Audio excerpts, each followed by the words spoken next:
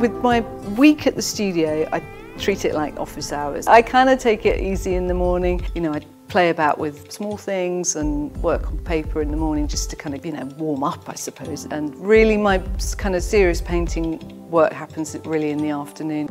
I think you, you get used to that solitude. I think that's why I like to have podcasts and people chatting because um, it feels like I'm not completely on my own.